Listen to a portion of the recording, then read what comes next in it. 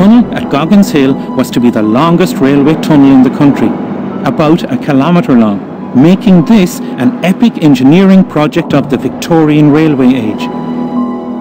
In the days before drill bits and tunnelling machines, breaking through rock required explosions. Lots of explosions. But first, the engineers needed to know where they were going. It's quite a feat to cut a curved tunnel more than a kilometre through a hill and have it come out exactly where you want it to.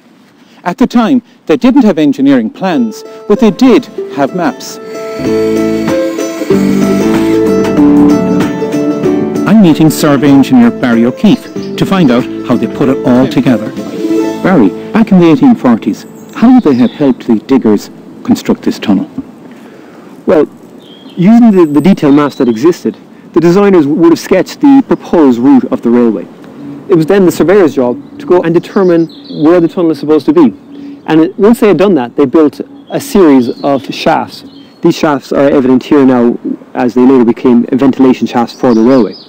They did a series of these across the hill. Then, with the surveyor inside the shaft, he could then determine the angle at which the blasting needs to begin.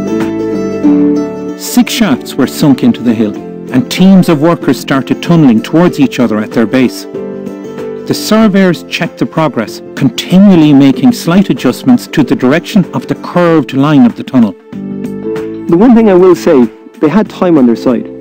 Because if they were blasting only at a rate of one yard per week, there was a whole lot of time to recheck their observations and double check them. So, while it was challenging, time was on their side to get it absolutely right.